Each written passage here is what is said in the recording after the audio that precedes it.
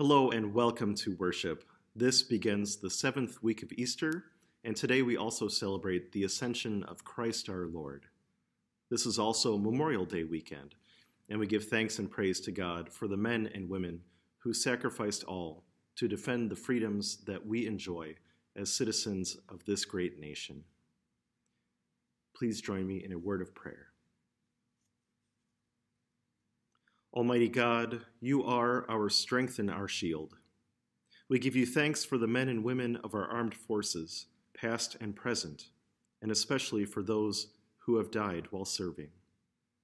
May their sacrifices serve the cause of peace, and may our nation be ever grateful for their service. With your wisdom and strength, guide our military's leaders and give to all people a desire for justice and peace. We pray in the name of Jesus Christ, who lives and reigns with you and the Holy Spirit, one God, now and forever. Amen. This spring, we had hoped to have representatives from our partners in ministry share updates and messages with us. And we were able to do that actually at our uh, last in person worship service with Camp EWALU and Executive Director Clark Baldwin present with us, along with some staff members.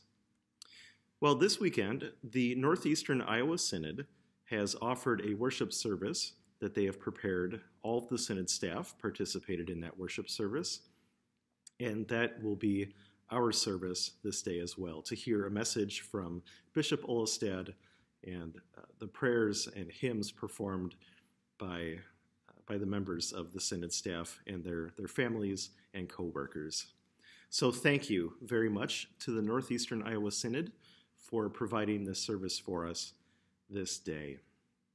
At the end of today's service, please uh, continue to join with us for a medley offered by Jen Beislein in honor of Memorial Day and those servicemen and women of our lives and of our nation who have passed away in service to this country. And with that being said, please enjoy this worship service provided by the staff and families and friends, co-workers of the Northeastern Iowa Synod.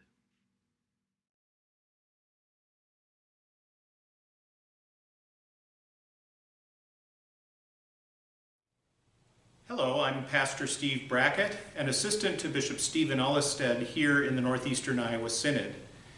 It is our pleasure as a Synod staff to bring you this recorded worship service in order to give our pastors, deacons, worship planners, musicians, worship assistants, and technology specialists a break for a week from their work. Over the last several weeks, in response to the COVID-19 pandemic and social distancing, many of our congregations have been diligently working to provide you with worship in your home we are a pleasure to give them a break from that in order to present this service to you.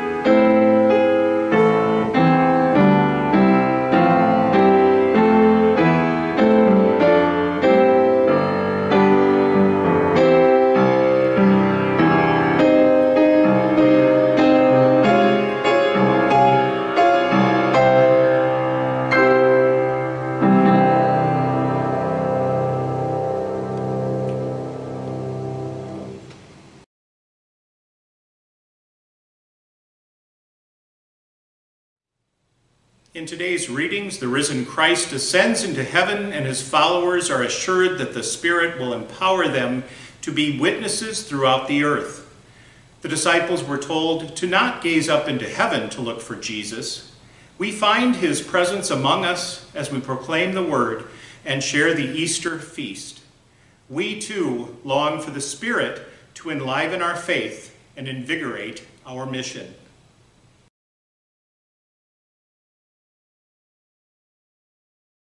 Though physically separated from one another, we gather together for worship in the name of the triune God, Father, Son, and Holy Spirit. Amen. Amen. Baptism is a gift from God to us. This gift is so precious and generous that we invite people of all ages to be washed by the love of God and sealed with the Holy Spirit. Baptism brings us into the family of God and makes us members of the body of Christ. Alleluia! Christ is risen. Christ is risen, risen indeed. Alleluia. Joined to Christ in the waters of baptism, we are raised with him to new life. Let us give thanks for the gift of baptism. Holy God, holy and merciful, holy and mighty, you are the river of life, you are the everlasting wellspring, you are the fire of rebirth. Glory to you for oceans and lakes, for rivers and streams. Honor to you for cloud and rain, for dew and snow. Your waters are below us, around us, above us. Our life is born in you. You are the fountain of resurrection. Praise to you for your saving waters. Noah and the animals survived the flood. Hagar discovers your well. The Israelites escape through the sea, and they drink from your gushing rock. Naaman washes his leprosy away, and the Samaritan woman will never be thirsty again. At this font, Holy God, we pray. Praise to you for the water of baptism and for your word that saves us in this water. Breathe your spirit into all who are gathered here and into all creation. Illumine our days, enliven our bones, dry our tears, Wash away the sin within us and drown the evil around us. Satisfy all our thirst with your living water, Jesus Christ, our Savior, who lives and reigns with you and the Holy Spirit, one God, now and forever. Amen. Our gathering song is Dearest Jesus at Your Word, hymn number 520.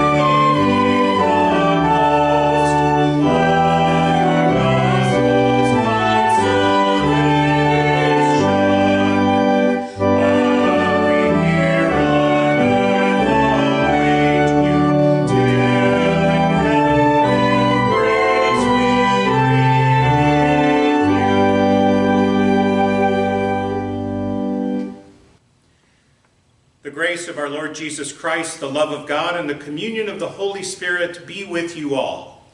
And also with you. The hymn of praise is Praise to You, O God of Mercy, hymn number 208.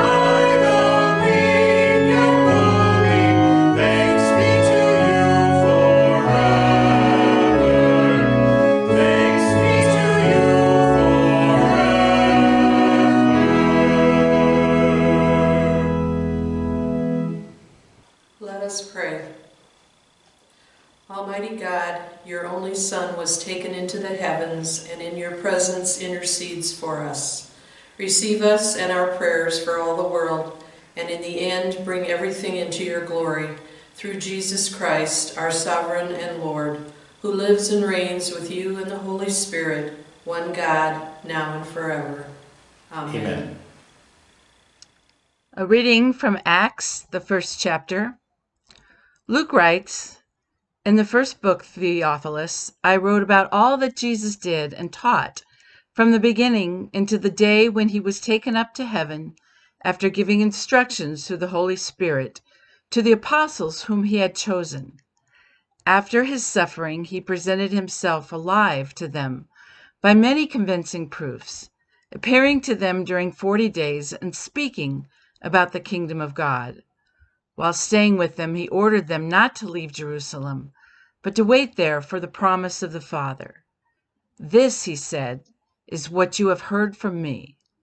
For John baptized with water, but you will baptize with the Holy Spirit not many days from now. So when they had come together, they asked him, Lord, is this the time when you will restore the kingdom to Israel?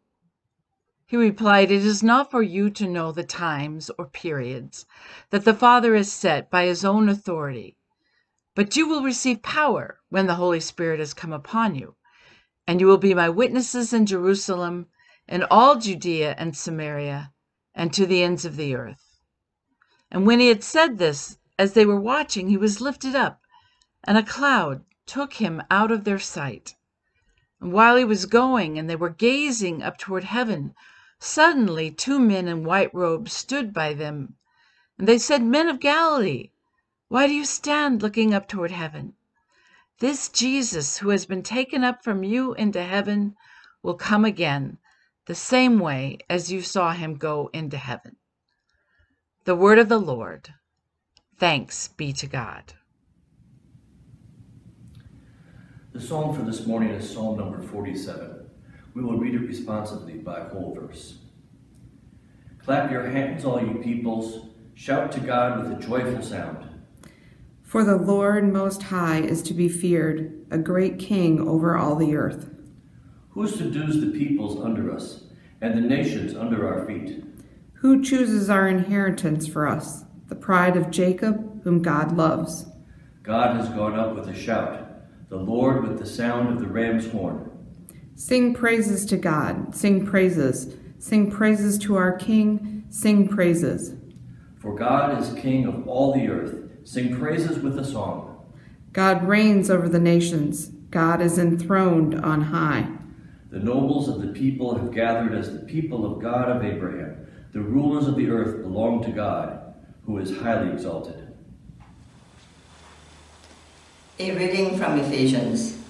I have heard of your faith in the Lord Jesus and your love toward all the saints, and for this reason I do not cease to give thanks for you as I remember you in my prayers.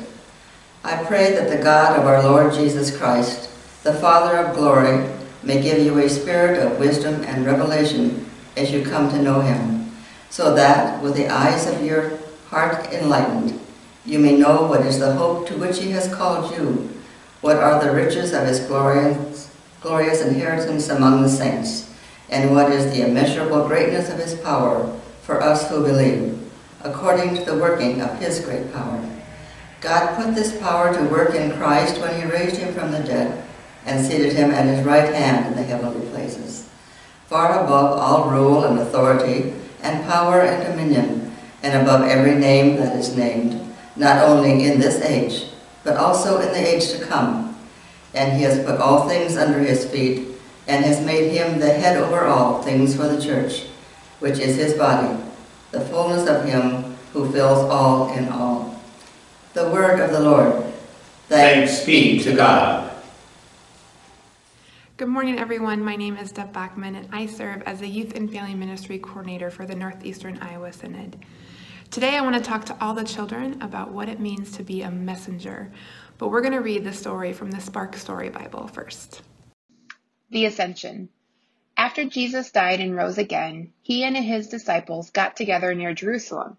Jesus had some instructions for them. As you know, God is doing amazing things in the world, he said, and your help is needed. We need you to go tell stories about me. Tell your friends and family and everyone you meet what you've learned by following me. Be my witnesses in the world.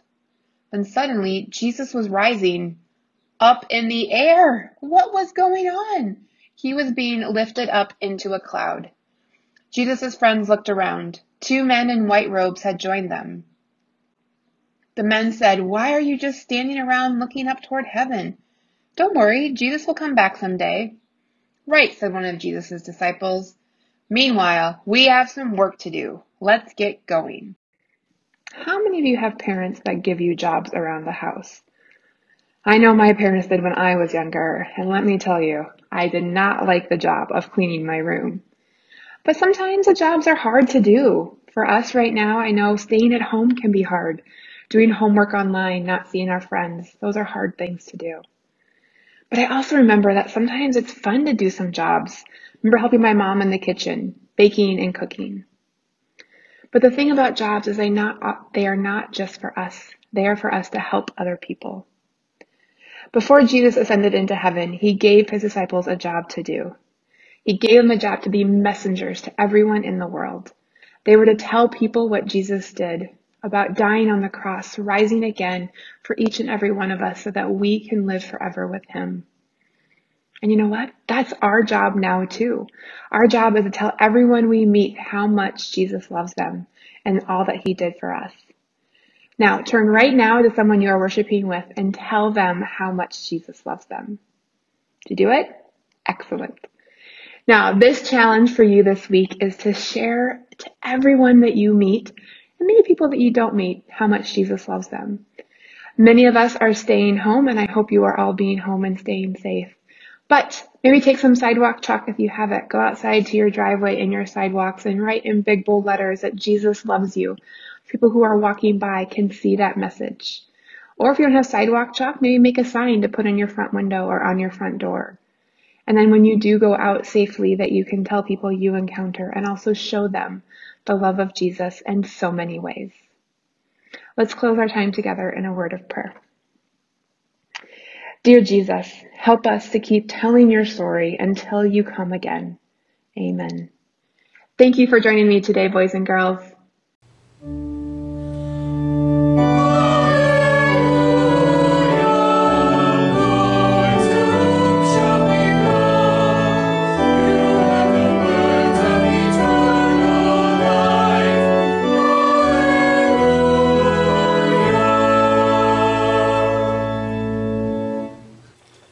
The Holy Gospel according to St. Luke. Glory to you, O Lord. Jesus said to the eleven and those with them, These are my words that I spoke to you while I was still with you, that everything written about me in the law of Moses, the prophets, and the Psalms must be fulfilled. Then he opened their minds to understand the Scriptures, and he said to them, Thus it is written, that the Messiah is to suffer and to rise from the dead on the third day and that repentance and forgiveness of sins is to be proclaimed in his name to all nations, beginning from Jerusalem. You are witnesses of these things, and see, I am sending upon you what my Father promised. So stay here in the city until you have been clothed with power from on high. Then he led them out as far as Bethany, and lifting up his hands, he blessed them.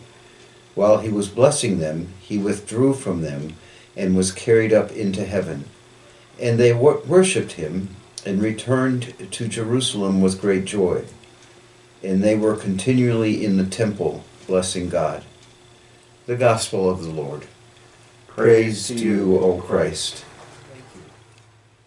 I have been inspired by what I have seen taking place in our congregations as they continue to find new ways to tell the old, old story. In fact, we were so impressed, we dedicated an entire Northeastern Iowa Synod Star to, uh, to highlight and feature some of those things that are taking place in our parishes, whether it's daily devotions or electronic round robins. Um, it's just it's just inspiring to see how our people, our leaders, our pastors and deacons, our worship leaders have decided, and musicians have decided not to be defeated by the pandemic, but to rather be creative.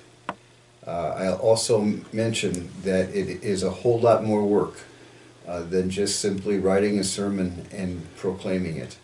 Uh, two different pastors have told me that they get everything done, they get the sermon done, they get the worship outlined, and then they take six hours on the video machine um, making the IT stuff work.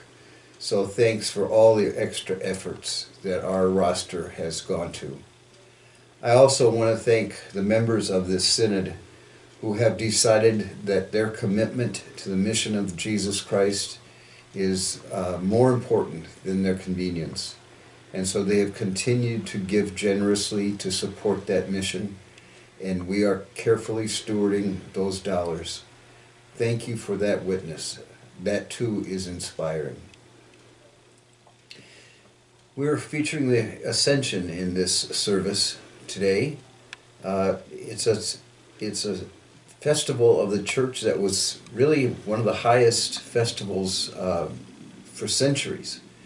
Now it's kind of forgotten because it falls in the middle of the week and all those kinds of things. But um, it also is something that I had to learn quite a bit about because what I had thought the ascension was about turns out that that's not quite the way we as Lutherans look at it. There's a beautiful stained glass window at St. Peter in Greene uh, featuring the ascension.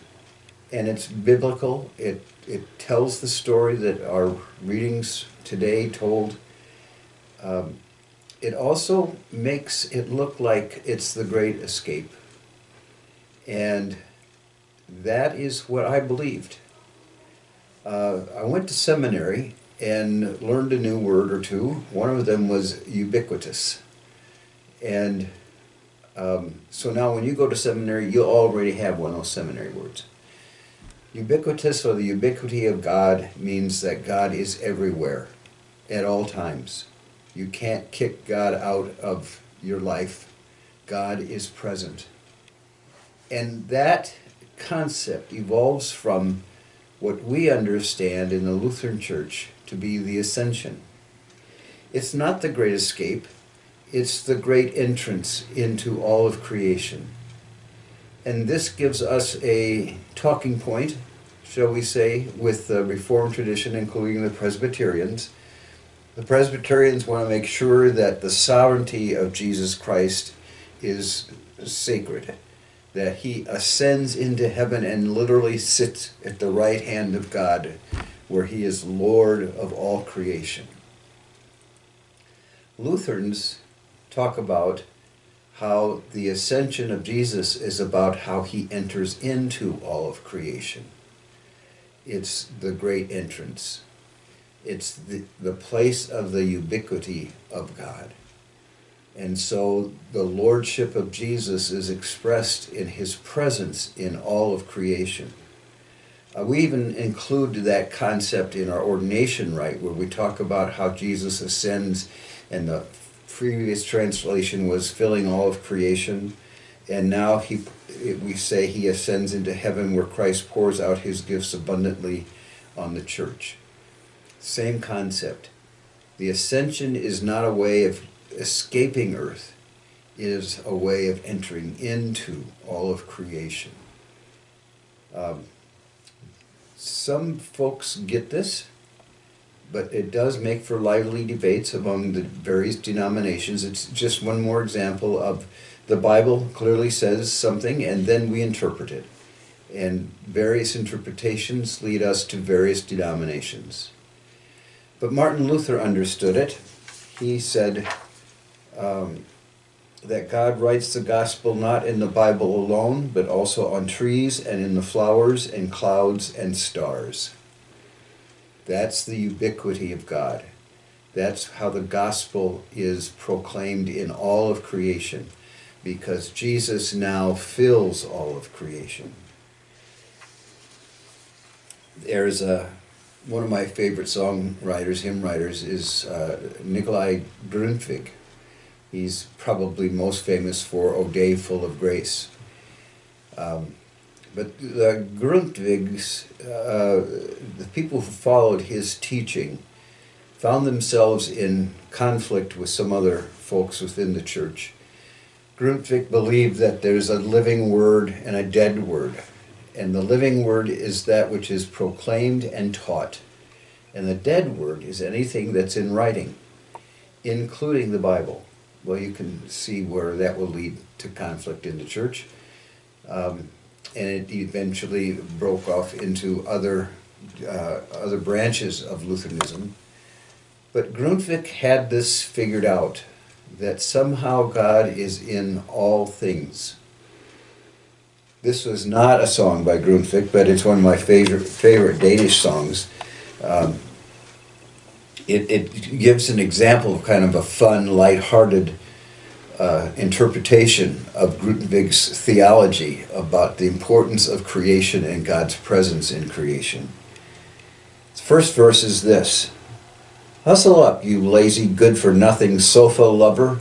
Dust the cobwebs from your soul. Join our happy song as we stride along through the forests and the fields, our goal. Take your leave from books, our dusty, musty friends and tyrants, and declare your liberty. Books may be okay for another day, but today we will be gay and free. Blue skies are calling, gentle winds are blowing, kind Mother Nature heals the pain and ends decay. Where flowers bloom and quiet streams are flowing, we find the strength to meet the tasks of today. If you need to be more aware of the presence of God, you go for a hike. That was a part of this whole philosophy or understanding of the presence of God in all of creation. Um, you, you, I mentioned O Day Full of Grace there's an alternative verses printed in our hymnal or worship book. And here are a couple to again make the point. Yea, were every tree endowed with speech, and where were every leaflet singing, they never with praise God's worth could reach, though earth with their praise were ringing. Who fully could praise the light of life, who light to our souls is bringing. As birds in the morning sing their praise, God's fatherly love we cherish, for giving to us this day of grace for life that shall never perish. The church God has kept 2,000 years, and hungering souls did nourish. Again, an appreciation for the presence of God, whether it's the singing of the birds or the, or the trees endowed with speech. um, this is the ubiquity of God. Well, I think uh, I've been watching a little bit too much news, and it would be easy to believe that God's not the only thing that's ubiquitous, but rather the uh, coronavirus is as well. And it is extraordinarily serious, it is present everywhere. Steve and I are practicing uh, social distancing. We wear masks into the office. Um, it it is real. It's it's dangerous, and it's going to be with us for a while. But we can block block it. We can care for how we relate to other people. We can wear our masks. We can make sure that there's distance that makes us safer. Uh, we can only go out uh, for things that are essential and not make quick trips uh, all over to run errands. It is, it's the virus as all consuming as it is, and it is very serious, uh, does not match the ubiquity of God. You can't block God's presence. You can't kick God out of uh, a school or a culture or or a, any building. You can't even kick him out of your life. Once God has decided to be your God, that will be the way it is your whole life. That is what it means for Jesus to ascend and fill all of creation. I again am grateful for everything that our members, our leaders are doing to maintain a healthy witness and a safe witness. Uh, we can't uh, stress this enough that when the time comes for us to gather again in worship, in face person to person worship, we will do that safely it's not now, but it is coming. And when we gather, whether it's electronically, um, through websites or Facebook pages, or when we're back face to face, person to person, God is present because Jesus has ascended and has filled all of creation. Amen.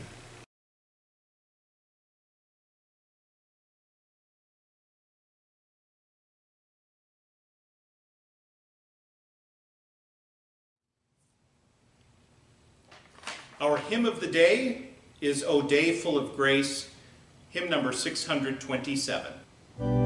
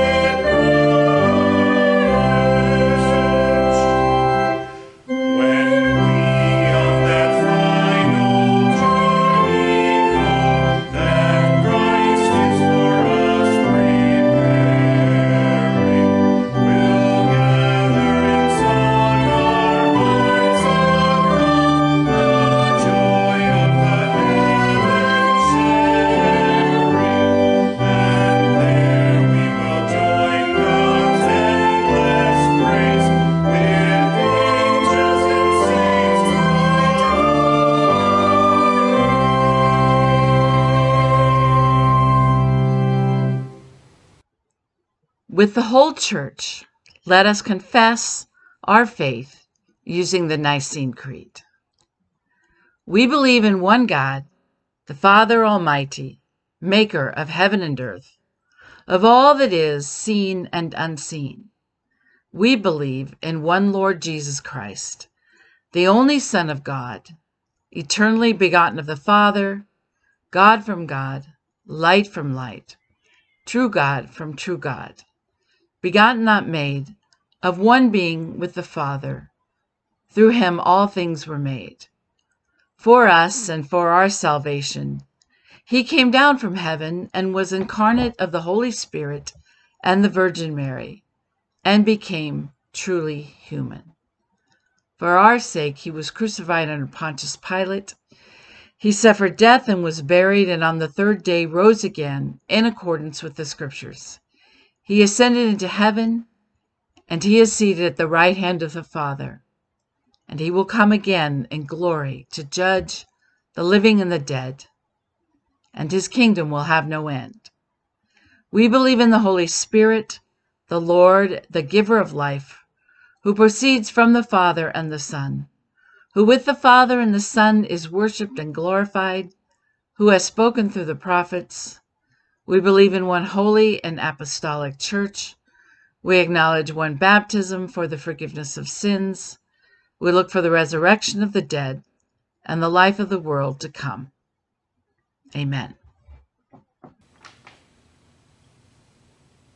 Uplifted by the promised hope of healing and resurrection, we join the people of God in all times and places in praying for the church, the world, and all who are in need. Living God, you chose us to be your witnesses in the world. We pray for the church in every place and the congregations in our synod. Focus our hearts and minds on the ministry we share in your name. Lord, in your mercy, hear our prayer. Loving God, all creation sings praise to you. You delight in the oceans, and the mountains are your throne. Teach us humility and respect for our home. Lord, in your mercy, hear our prayer. Sovereign God, you rule the heavens, the earth, and time itself. Make this a time of justice, peace, and solidarity among all nations and peoples, so that oppression and violence rule no more. Lord, in your mercy, hear, Hear our, our prayer. prayer. Tender God, we wait with hope for your presence to heal us, bless us, restore us, and give us peace. You know all the names of those who are sick and suffering. We pray this day for all those who have been affected in any way by COVID-19. We pray for the safety of healthcare workers and first responders. Lord, in your mercy, Hear, Hear our our prayers. Gentle God, you guide us as we seek wisdom. We pray for teachers, professors, theologians, daycare workers, and all those charged with teaching the young and old. Give them endurance and persistence in their valuable work. Lord, in your mercy, Hear our prayer. Saving God, we give you thanks for all those who have worked to bring your gospel of hope and healing to people's homes during this time of social distancing. Pastors, deacons, worship assistants, worship planners, musicians, and technology specialists. We look with anticipation to the time when we will once again be able to gather in person in our sanctuaries. Lord, in your mercy, hear our prayer. Infinite God, your inheritance given to all your saints is your presence in our life and in our death. We remember with thanksgiving the faithful departed, especially Nicholas Copernicus and Leonhard Euler, scientists whom we commemorate today, and all those we have lost and have been unable to properly honor during this time of social distancing. Lord, in your mercy, hear, Hear our our prayer. With bold confidence in your love, Almighty God, we place all for whom we pray into your eternal care through Christ our Lord. Amen. Amen. The peace of Christ be with you always. And also with you. Please greet one another with a sign of Christ's peace.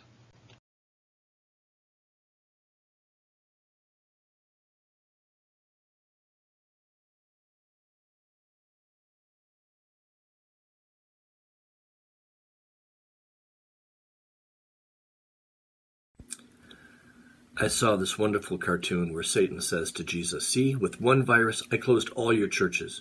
And Jesus replies, Yes, and in three days I opened a church in every home. The congregations of northeastern Iowa have been amazing in their resilience, outreach, and all their other ministries. The latest issue of the Synod's newsletter gives pages and pages of examples of how congregations are continuing worship, confirmation, Sunday school, Bible study, youth ministry, and much more, all virtually and safely. Our congregations are amazing. I like the expression, the church isn't closed, it's been deployed. But this means the congregations still need to pay the bills to make all this new ministry possible. We are all incredibly grateful to everyone who has maintained their financial support to their congregation by either mailing in their offering or better yet by using electronic giving. Thank you. Almost everyone is receiving a stimulus check from the federal government. If you have not experienced a financial setback, perhaps you would consider sharing a part of that stimulus with your congregation, or your local food shelf, or the Northeast Iowa Food Bank, or Lutheran Services in Iowa, to help those who have had an income loss because of the virus. Again, thank you for your tithes and offerings to your congregation during this difficult time.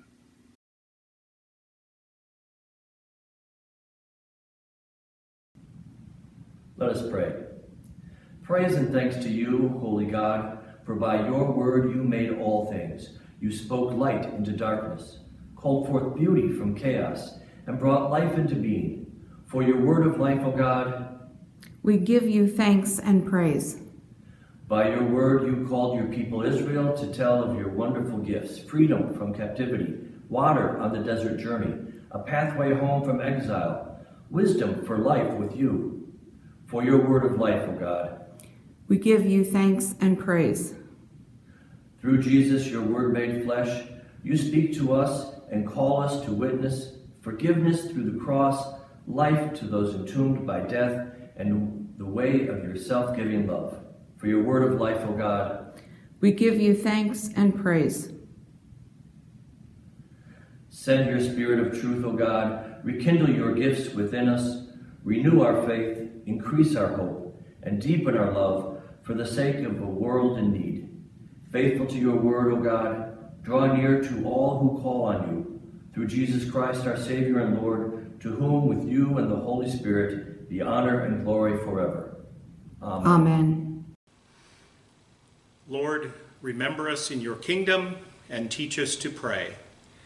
Our Father, who art in heaven, hallowed be thy name. Thy kingdom come, thy will be done, on earth as it is in heaven.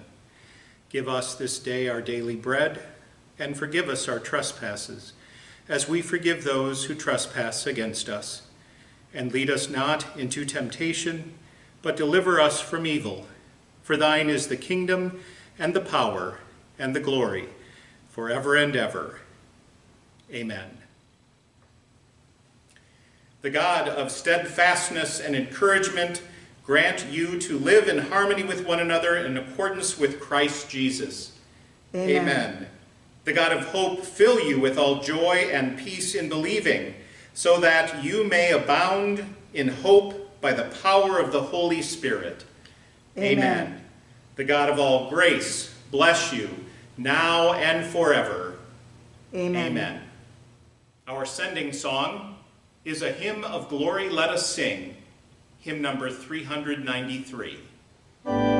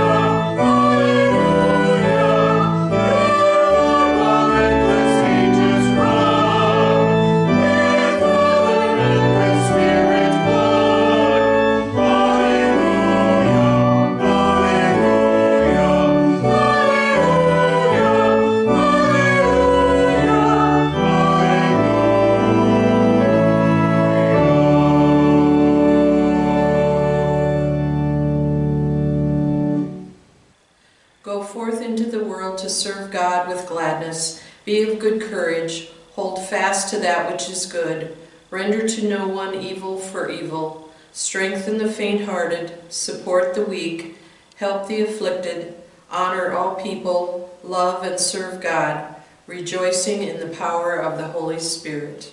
Thanks, Thanks be to God. Again,